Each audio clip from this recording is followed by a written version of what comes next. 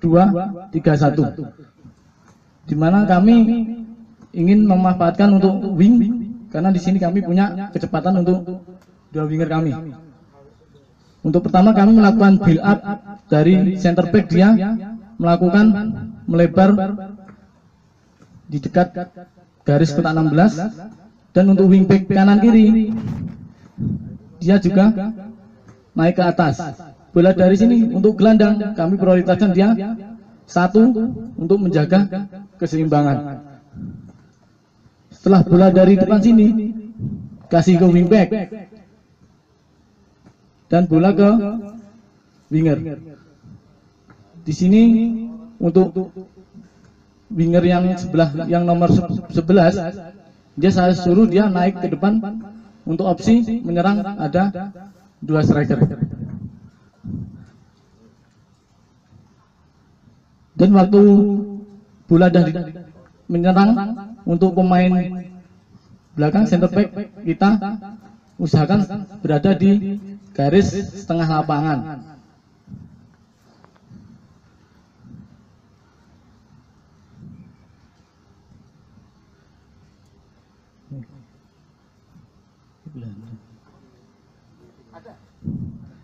Terus waktu kita kehilangan bola, di sini tim kami selakukan, selalu melakukan blok di atas ya, atau pressing di atas.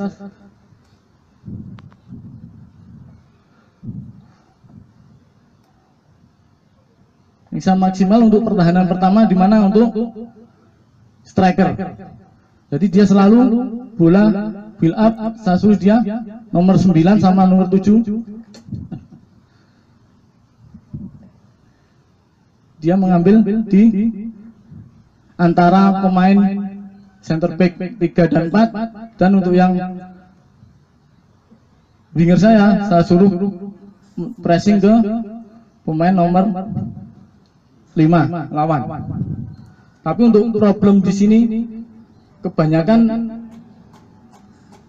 tim yang bertemu dengan Nea kebanyakan dia selalu melakukan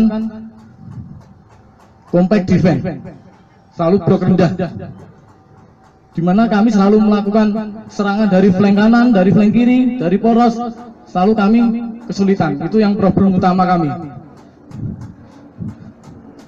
Dan terus untuk yang bertahan waktu transisi, transisi di mana waktu bola, waktu menyerang kita kehilangan bola.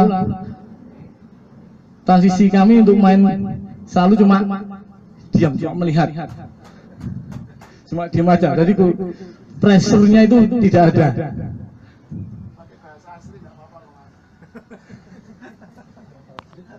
Yang pasti gimana Pak? Ya mungkin ada, mungkin di video.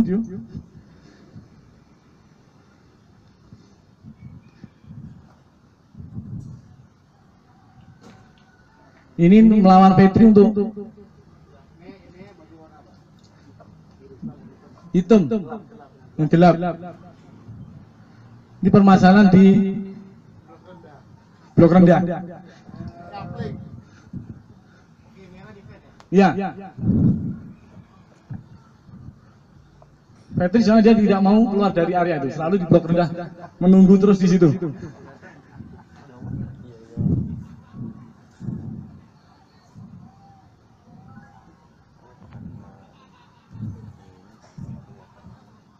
Kalau yang ini waktu.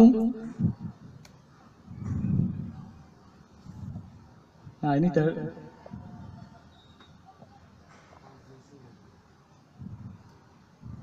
Masih ada problem kan? Masih ada. Iya. Problemnya di mana? problem saya waktu ini apa? Second strikernya. Ke satu dia kadang posisinya itu kadang Mau terselip di antara lawan kah? Atau Iya. nggak bisa dipasing? ya tidak bisa dipasing. Ya. Tapi di empat game itu Nea menang. Oke, berarti di dua game terakhir Nea kalah atau draw? Draw. Dua-duanya draw. Draw. Berarti Asifa dan Fikri udah tahu bahwa Nea tidak. Ya. Peringkat satu. Oh, peringkat satu ya kan? Peringkat satu. Makanya kan makanya dia defend kan gitu. Ya.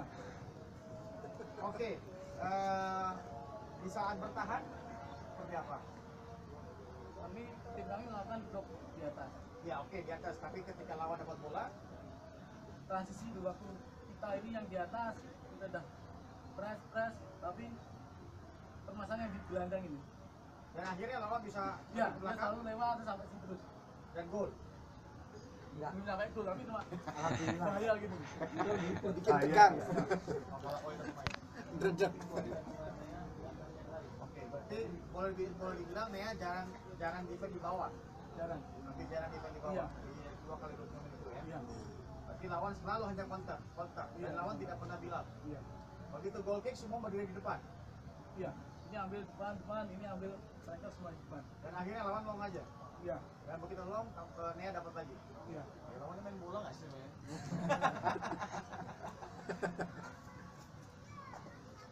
Oke, eh plannya apa, Kak? Ini kan udah game. Plannya apa, coach? Kalau misalnya sekarang besoknya saya lawan Fitri, kayaknya dia akan defend deep lagi. Apa ya? Minggu ini kita lawan Fitri lagi, misalnya minggu ini besok. Asifa kemarin, ya kita punya pengalaman ya. Asifa main lawannya di compact deep defense. Evaluasi kan? Iya. Ya, evaluasi. Gimana terjadi atau solusi lagi untuk melawan yang lawan yang sama tipikal main? Apa yang dibikin latihan? Nah, latihan servis. Oke, service, Servis dan bocor sama servis juga. free kick, free kick. Nah, iya. oke. Indirect atau direct ya gitu. Iya. Nah, terus ada hasil? Belum ada hasil. Belum ada. Oke. Tapi untuk open play-nya, untuk break compact defense-nya gimana? Oke. Ada di dalam latihan dibikin nggak? Tidak. Oh, masih. Belum, belum. Belum, belum. Masih apa? Udah minta aja buat Kasih, Chan. Ya. Jadi salah satu salah satu untungnya kita bikin analisis dengan video adalah kita mengetahui oh lawannya akan seperti apa bermain dan kitanya akan seperti apa bermain kan gitu.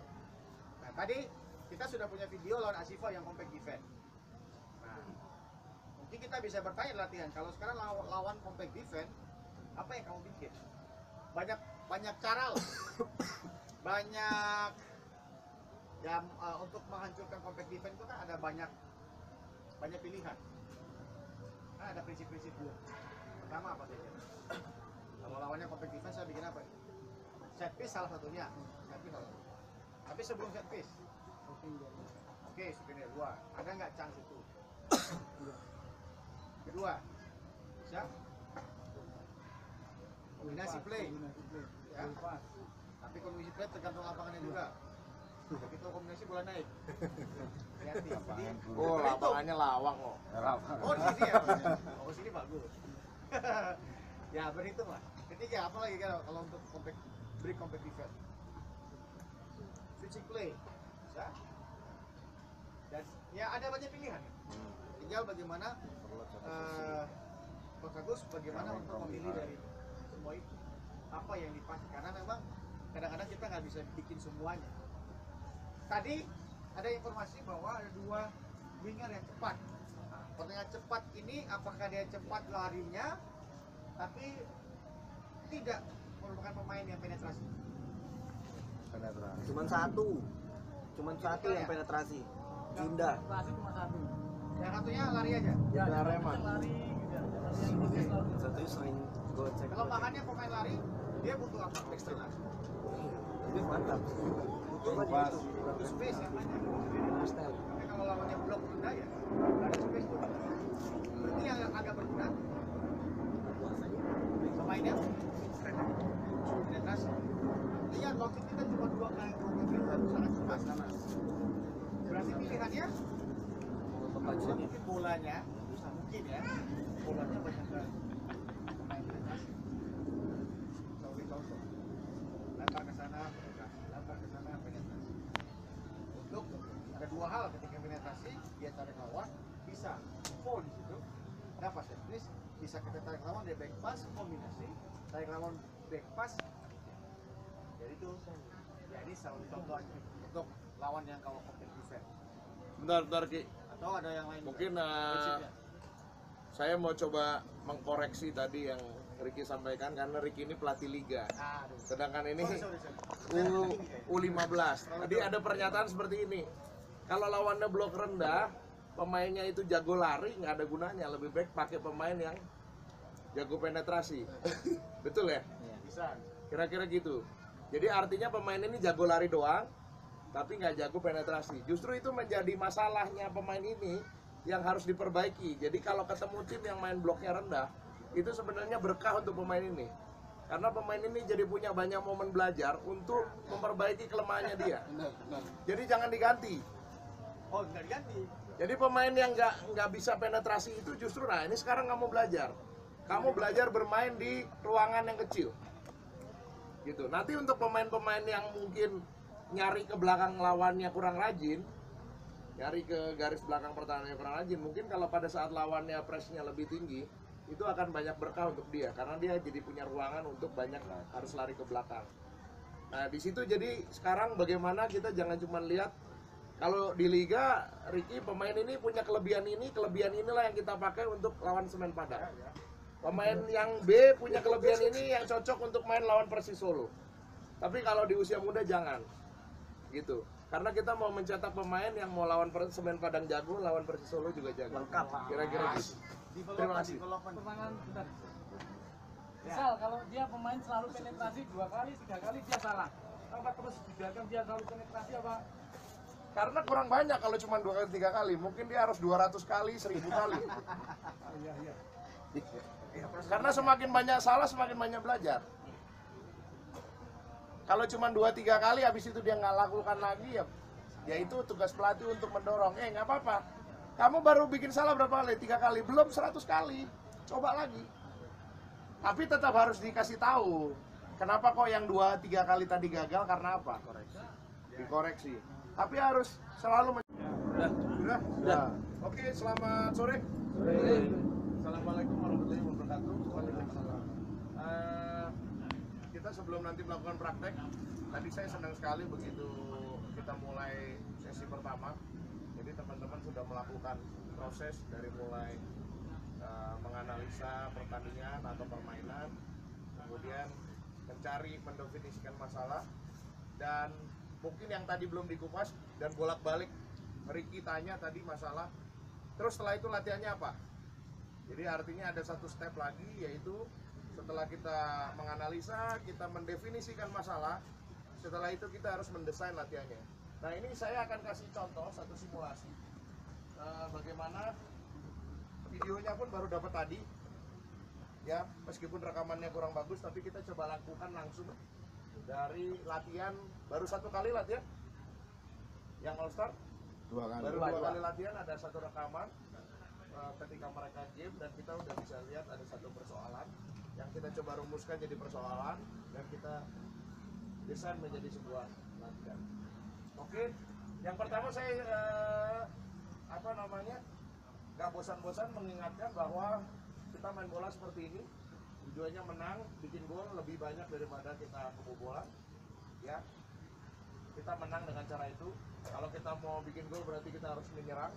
Kalau kita nggak mau kebobolan kita harus bertahan ya menyerang ada membangun menyelesaikan. Uh, bertahan ada mengganggu lawan membangun serangan ada mencegah lawan me- menyelesaikan serangan ya. Oke tujuan menyerang adalah bikin gol kita semua tahu. Tujuan membangun serangan adalah bagaimana bola progres ke depan dan bagaimana kita bisa menciptakan peluang. Tujuan menyelesaikan serangan adalah mengkonversi peluang yang sudah tercipta Jadi ini adalah ukuran-ukuran yang teman-teman harus lihat pada saat menganalisa. Kalau kita ngomong menyerang, apakah pertama nomor satu tim kita mencetak gol? Kalau kita ngomong membangun serangan, apakah bolanya progres ke depan? Dan apakah kita menciptakan peluang? Dan apakah peluang itu bisa dikonversi menjadi gol? Ini adalah checklist untuk teman mengecek apakah timnya teman-teman bermasalah apa enggak. Bertahan juga sama kebalikannya. Ya, saya cepet aja. Oke, ini sedikit penilaian. Jadi ini kita gambarkan ini yang paling penting sekali. Kita tidak berorientasi kepada lokasi sepertiga tengah, sepertiga depan, sepertiga belakang, tapi kita melihat adalah ruang-ruang yang tercipta di antara lini. yang putih adalah tim lawan. Ketika lawan mengorganisasi suatu pertahanan, maka ini ruangan yang kita punya, yang orange ini. Ada ruangan di depan lini pertahanannya lawan. Ada ruang antar lini tiga namanya ini, kita namain rani tiga. Ada ruang antar lini dua, ada ruang antar lini satu, dan ada di belakang lini. Survei membuktikan kebanyakan gol terjadi ketika bisa nerima bola di belakang lini pertahanan. Dan asis banyak terjadi di ruang antar lini satu. Jadi ketika kita menyerang, kita berusaha memprogres bola itu bisa mungkin ada di sini, dan di sini. Ya untuk bisa di sini, sebaiknya kita sampai di sini. Kalau kita masih main di sini, ya kita lihat makanya saya kasih skor sebenarnya. Kalau kita hilang bola di sini, berarti nilainya jelek. Tapi kalau kita nguasain bola, tapi nggak ke mana-mana itu juga nggak bagus juga. Kita meningkat bola progres di sini, kita kuasain bola juga di sini, agak lumayan tapi belum bagus. Yang paling bagus ketika bola di sini dan bola di sini. Dan yang paling bagus sekali adalah ketika bola udah sampai sini, kita berhasil menciptakan peluang. Oke, jadi seperti ini, ya. Ya ini di sini nilainya makin progres makin meningkat nilai.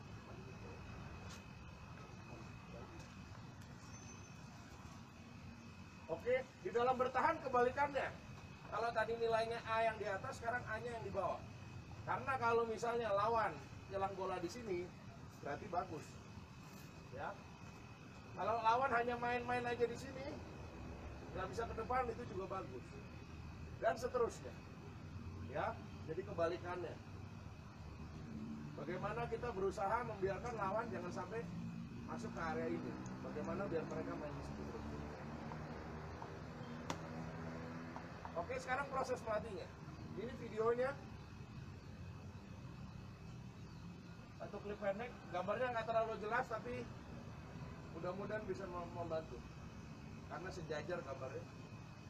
Ini nomor 8 ya. Ini nomor 6. Ya, ini nomor 10. Dialog ke nomor 11 di sana.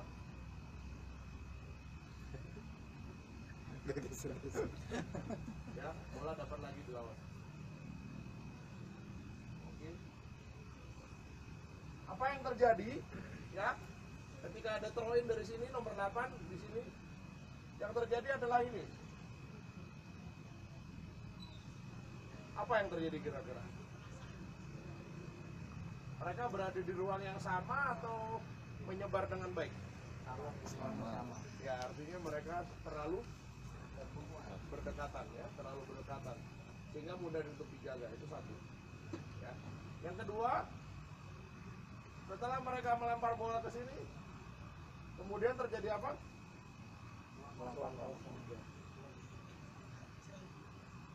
Tiga lawan empat. Mungkin dibantu ini menjadi tiga lawan enam. Makanya tim kita akan selalu hilang bola dan nggak bisa menciptakan peluang. Ini terlalu jauh terlalu jauh kemudian terlalu jauh terlalu jauh. Ya kalaupun hilang bola juga lawan akan bisa melakukan dribbling untuk counter attack ya ini yang dibilang kita akan sulit melakukan eh, langsung press. Ya sulit untuk bisa langsung press. Kalau kita posisinya tidak merata di ruang antar lini. Oke ini masalahnya. Ya kita lihat permasalahannya terjadi pada saat kita menyerang pada saat build up ya. Kita hilang bola pada saat kita membangun serangan itu permasalahannya. Siapa aja yang terli- terlibat dalam permasalahan? 6, 8, 10 2 dan 5 7, 11 7, 9, 11 Oke. di mana? Sepertiga tengah sepertiga depan. Oke. kapan? Masalahnya muncul saat bola kita progres dari tengah ke depan. Di sinilah masalah mulai muncul. Masalahnya kenapa? Ada diskoneksi di sini, ya terputus. Kenapa kok terputus? Karena nomor 2, nomor 5 statis, nomor 7, nomor 11 statis. Saya tadi udah sampaikan kalau dua pemain ini berada di dalam satu garis yang sama, satu garis vertikal yang sama, maka tim kita akan kesulitan untuk satu terus menguasai bola dan menciptakan peluang. Yang kedua tim kita akan sulit untuk melakukan langsung press ya jadi ini yang harus kita rubah. Oke kita akan melatih pos pemosisian nomor 2, nomor 5, 7, 11, 6, 8, 10 supaya mereka saling berkaitan, saling berkoneksi satu sama lain. Bisa saling berhubungan, jaraknya bagus oke ini solusinya. Ya kita akan melakukan sedikit rotasi. Ya. Kita akan push fullback ke depan 7 11 masuk 8 10 nya tahan. Sehingga akan tercipta ada empat lini. Kalau terjadi hilang bola misalnya putih rebut di lini ini ada satu layer yang melapis. Kalau pemain ini yang berebut bola ada satu layer yang melapis dan seterusnya. Oke. Ini struktur latihan kita seperti biasa ada passing exercise P1 P2 permainan posisi P3 fase permainan fase play dan yang terakhir adalah kita game oke ini P1 nya. Eh, nanti mungkin kita akan skip ini karena waktunya singkat. Mungkin kita akan buat pemanasan yang lebih sederhana karena ini mungkin memakan waktu untuk mengorganisasinya. Tapi ini gambarannya seperti ini ini adalah pemain gelandang. Ya kan? Ini juga pemain gelandang katakanlah ini anggap nomor 6 ini mungkin nomor 10 ini adalah nomor 5 ini adalah nomor 7 ya. Dia akan pas ke pemain B pemain ini akan masuk ke tengah kalau tidak diikutin bisa dipas kalau diikutin nomor eh, dua yang pergi kasih. Kemudian kasih ke striker striker dribble ke sini. Ya gambarannya seperti itu. Oke ini yang akan kita lakukan nanti P2 permainan posisi. Kita akan main di area ini 5 lawan 3 ya 6 8 10 25 pertama kita main 6 8 10 25 lawan 8 10 dan 6 6 nya kita batasi hanya bisa di area ini jadi jangka. Kita main main main berusaha untuk cari ke depan. Nah di saat yang tepat nomor 7 nomor 11 akan masuk. Bisa pasti ke 7 11 atau mungkin ke 9 tergantung situasi ya. Di saat itulah nomor 8 nomor 10 harus anda tahan. 2 dan 5 naik ya nomor 6 akan masuk ke sana mungkin salah satu 8 10 akan masuk ke sini. Main lagi di sebelah sini 5 lawan. 3 8 sampai 10 yang ini ambil push ke depan ini push ke depan. Main lagi berusaha lagi gantian untuk cari ke sini. Nanti pada saat bola jalan ke sini 7 11 nya keluar lagi 25 nya kembali lagi ke posisi. Ya jadi kita akan latihan ini setelah itu kita akan main fast of play setengah lapangan. Kita buat kotak. Di kotak ini ada khusus untuk gelandang 3 lawan 3 ini main main main. Kalau kesulitan boleh back pass ke ke dua center back. Ya di saat yang tepat 7 11 boleh masuk ke kotak. Ya kalau mereka diikuti mungkin 2 sama 5 bisa pergi. Nanti kita akan tambahkan gawang karena tadi di sini banyak yang selalu bicara soal transisi. Jadi kita akan buat transisinya kita buat gawang sehingga kalau 6, 8, 10 yang hijau rebut bola mereka bisa buat gol ke ke gawang ini. Bagaimana 6, 8, 10 menjaga posisi supaya 6, 8, 10 ini nggak bisa bikin gol ke gawang ini. Oke? Ya? Tapi nanti kita juga bisa tadi problem yang eh, infra atau lawang kita juga bisa nanti pindah gawangnya di sini. Ya.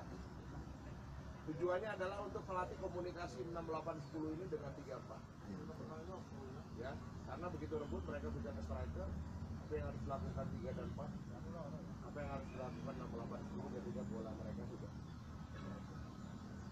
Oke. Kita akhiri dengan main tapi kita lihat nanti waktunya tapi nanti inti latihannya ada di dua, dua ini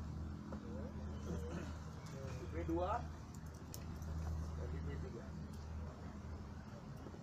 Oke, ada pertanyaan? Sampai sejauh ini? Ada pertanyaan? Takut John. Ini saya ambil dari video, tapi ini juga mungkin bisa pas dengan beberapa persoalan yang teman-teman hadapi tadi.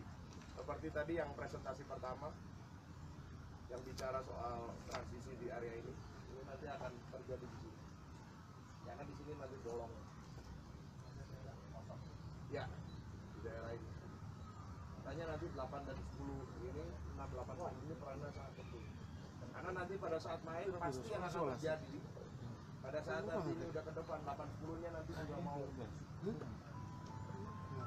Terus ketika terjadi transisi dia merasa oh saya nggak terserang itu bukan urusan saya. Nanti itu akan terjadi.